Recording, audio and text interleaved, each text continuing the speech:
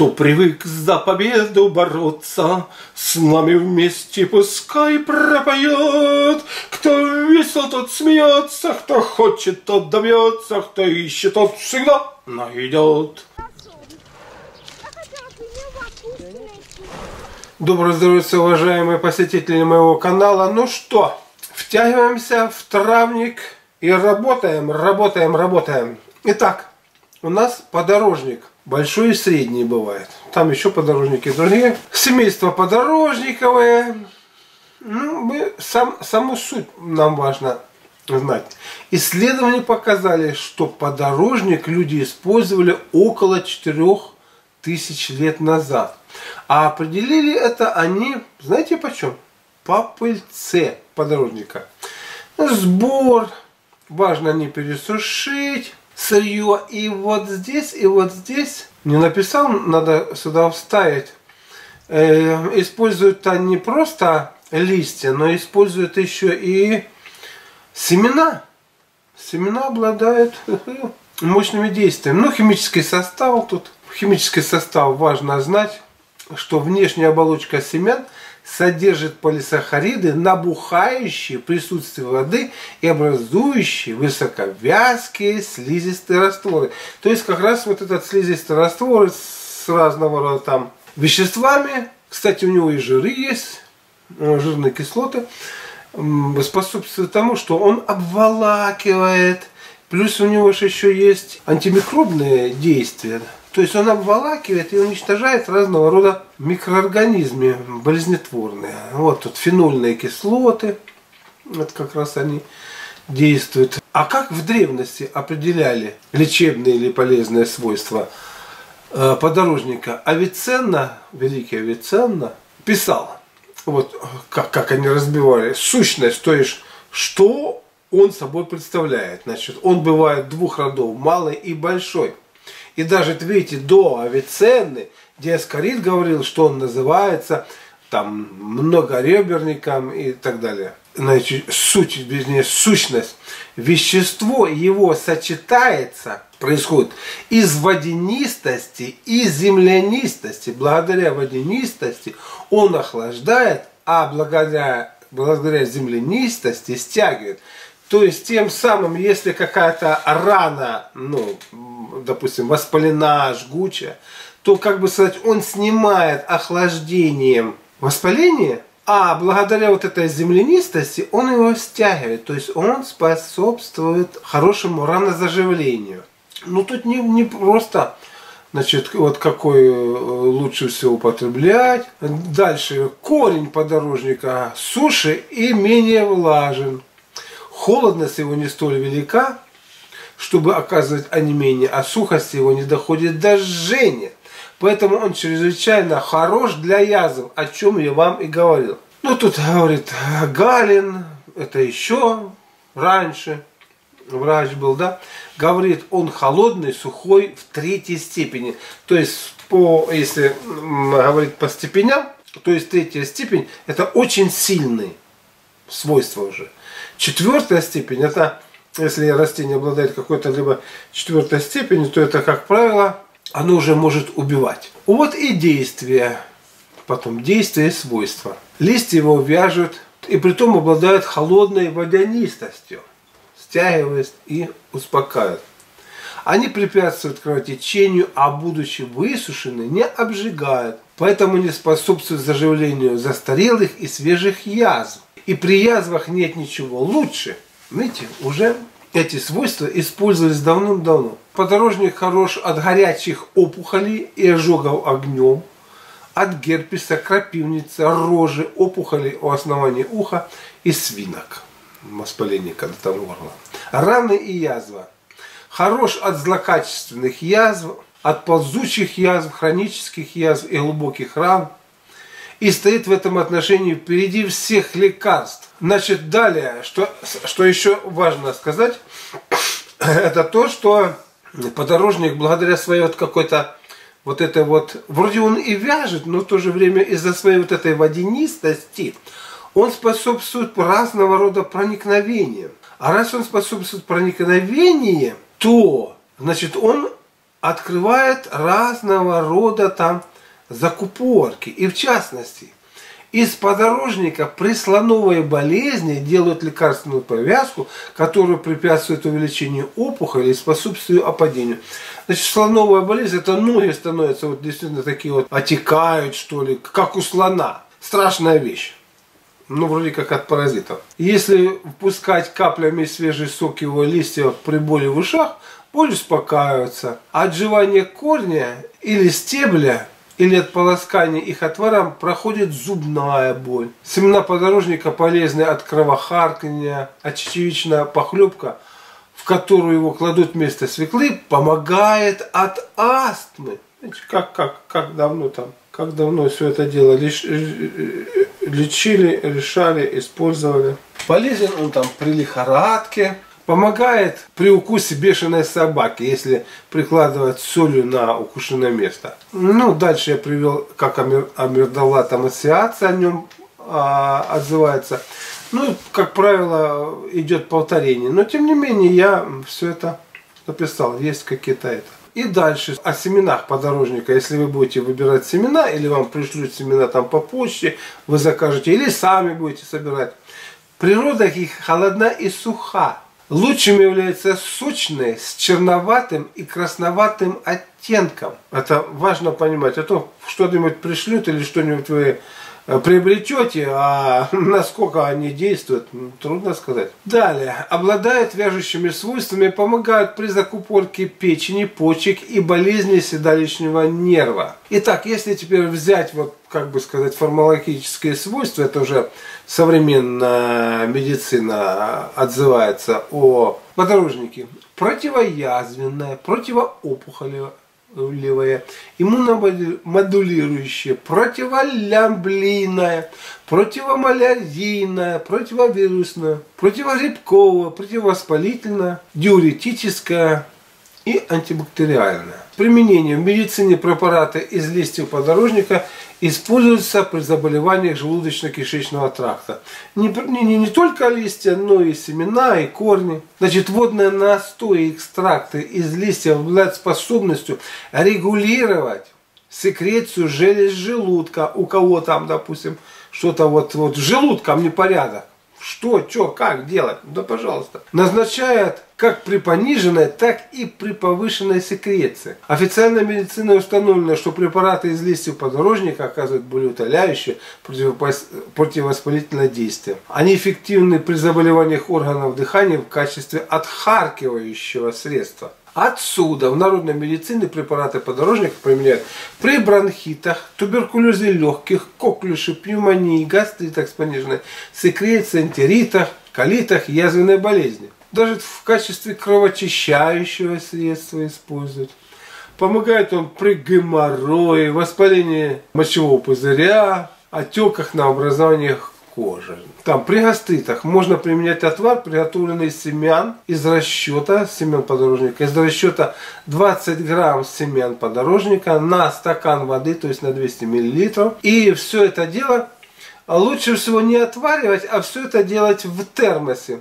То есть вы помещаете 20 граммов семян подорожника, заливаете стаканом кипятка, закупориваете, оставляете на ночь, а утром уже можете применять. Можно использовать 10 грамм высушенного а, сырья, листья, также на стакан кипятка. Все так же. Здесь уже можно принимать по половине стакана, э, значит, три раза в день. Настой. Ну, тут при раке желудка, легких, при поносах и воспалениях мочевого пузыря настой подорожника принимают раза в день по 100 граммов перед едой.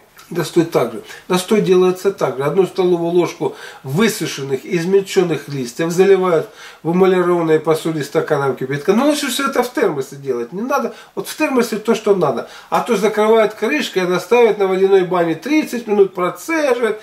Ну, вот лишнее не надо делать. Все это в термосе сделали со стеклянной колбой. Это лучше всего. И пьют по одной, второй, одной, третьей стакана три раза в день. Значит, при раке желудка, при поносах, воспалении мочевого пузыря, там, при поносах и болях кишечника пьют настой 3-4 раза в день. В акушерстве и гинекологии применяется при воспалении матки и придатков. Причем очень хорошо, судя по современным отзывам, специально были исследования. Значит, пьют по 100 граммов 3 раза в день. При носовых, маточных и любых других кровотечениях пьют настой из смеси подорожника и крапивы жгучей поровну по полстакана три раза в день. Ну, вот, вот как все тут. Теперь поговорим о соке подорожника. Сок из листьев отжимают в июне-июле. Можно там профильтровать, все это можно сделать. Знаете, что бы я вам подсказал, вот как я, допустим, буду делать. И вот эти вот листики подорожника взяли, хорошенько там помыли. Или в таком месте берете, где ну, чтобы чистота была. Все это помыли хорошенечко. В, этот, э, в блендер добавляете примерно 50 граммов воды, ну там на пучок зелени, так примерно на глаз прикинули. Это все перемешиваете, и у вас получается вот практически сок. Великолепно. Значит, он хорошо помогает как противовоспалительное средство при воспалительных э, заболеваниях дыхательных путей, при пониженной кислотности желудка, усиливает секрецию желез желудка. Вот, и только можно употреблять. Так, использовать, применять по 30-50 э, мл. Значит, используется при энтеритах, при острых хронических колитах, при язвенной болезни желудка сок подорожника пьют по одной столовой ложке три раза в день за 30 минут еды. При язвенной болезни можно сок разводить кипяченой водой. Будет э, примерно э, 50 миллилитров. Компрессы из подорожника применяют при лечении злокачественных образований. Значит, если каплями капать э, сок подорожника в уши, боль, которая там имеется, то есть воспаление там среднего уха или еще что-то, успокаивается. Ну, можете попробовать. Но опять-таки, вы так почитали, прикинули, и все тогда уж на свой страх и риск. Ну вот можно еще вариант приготовления сока, значит, эм, пропустить через мясорубку, потом эту кашицу отжимают. Э, далее можно к полученному соку добавить равное по количеству сахара или меда, а потом вот кипятят 25-20 минут. Ну зачем тогда? Лучше тогда сахара, если вы добавили меда и все это покипятили 25 минут, мед уже превращается в набор сахаров. Далее, после остывания заливают стеклянные банки, плотно закрывают. Это уже какой-то сироп. Прохладная месть, настойка из листьев подорожника. Она снижает артериальное давление, пить по 30 капель раза в день. Далее сироп, вот как раз сироп. Значит, его применяют при воспалении верхних дыхательных путей, кашле, для отхаркивания, чтобы лучше слизь выходила, а также при желудочных и кишечных заболеваниях. Семена подорожника. Вот мы дошли к семена. Значит, семена подорожника можно использовать как слабительно. Для этого их употребляют в целом или истолченном виде по одной столовой ложке на ночь или утром до еды. С киселем или чаем. Лучше с киселем опять-таки вот эти вот обволакивающие свойства, что, обволакивающие и слизистые, что они делают? Они увеличивают массу содержимого кишечника. И как раз эта масса может впитывать в себя разного рода там шлаки, которые имеются, и эту массу в кишечник лучше может схватить перистальтика и ее туда направить. Потому что если нету массы этой слизистой, что там будет эта перистальтика хватать? Ну ничего нету. Значит, семена применяют как противовоспалительно и обволакивающие при колитах. Вот если колит это воспаление слизистой оболочки кишечника, как его лечить? То есть получается воспаление, то, то есть ранка. Как раз вот эту ранку надо замазать, чтобы она не раздражалась. И там как раз имеются вот в этой слизи вещества, которые способствует заживлению ее при колитах, язвах желудка и двенадцатиперстной кишки. Для успокоения боли в период обострения язвенной болезни. Значит, подорожник в виде питья из семян или клизмы из, не, из его выжатого сока полезен от язв в кишках и от желчного поноса. Останавливает кровотечение при геморрое. Кто там звонит? Ну что там, что там такое? А, да ты видели, там тебе прислала. Марк в ванне рыбу ловит. Рыбу ловит? Ну хорошо, да. посмотрю, посмотрю Посмотри, немножко. поймал рыбку. Хорошо. Мгм. Ну вот жена, супруга, для нее, для нее наиболее важно это, чтобы в семье было благополучие, вот чтобы внучок был, так сказать, здоров, вот чтобы он, видите, тут рыбку там поймал ванной. То есть вот такие простые житейские мелочи, не вдаваясь ни в какие там высокие материи, большинству людей вот, вот и это и надо. Ну а мы применяем семена подорожника при поносе по одной одному грамму 3-4 раза в день. Наружно употребляет при ушибах, порезах, нарывах, воспалениях кожи, ожогах, свежих мозолях и укусах насекомых.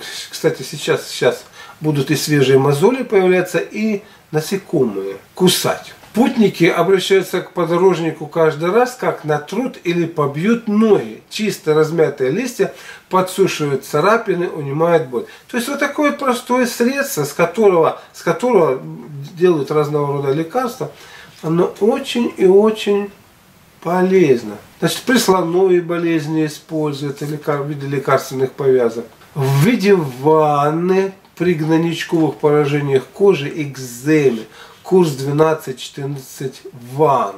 Измельчают корни, значит, заливают его и все это делают. Делают различные мази на основе порошка из листьев. 10 грамм берут порошка из листьев подорожника на 90 грамм свиного жира или несоленого сливочного масла. Применяют для лечения гнойничковых и гнойных заболеваниях кожи. Даже применяют его от сибирской язвы. Вот так-то. Как пищевая добавка.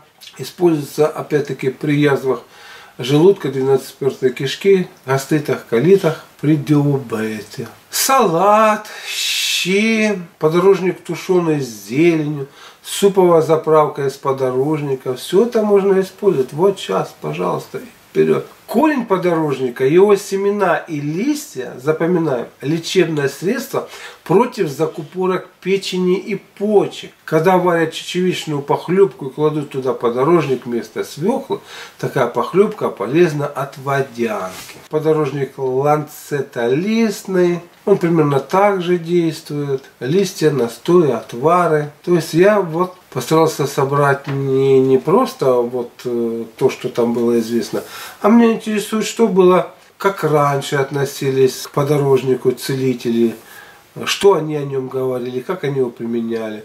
И дальше, допустим, ага, что там содержится в нем, какие там э, рабочие вещества содержатся, то есть химический состав, ага, как бы сказать, знаем за счет чего действует. И, наконец-таки, вот как народная медицина, как современная медицина там применяет. Все это вот мне интересно, чтобы была единая информация. Она как бы дополняет друг друга. Кстати, побочные действия есть, возможны аллергические реакции. При приеме внутрь изжога в качестве противопоказаний отмечают повышенную чувствительность и повышение секреции пищеварительных желез. То что способствует, если она и так хорошая, то она еще увеличивает, иногда это как-то раздражает. Вот такие вот дела. То есть работаем, работаем над травмочком. Еще, как я вам говорю, вот важно себя не заставить, а выработать полезную привычку, чтобы вы хоть часик, хоть полчасика, но ежедневно работали над какой-то там темой, которая вас интересует. Я благодарю вас за то, что откликаетесь, проявляете свою благотворительность на поддержание канала.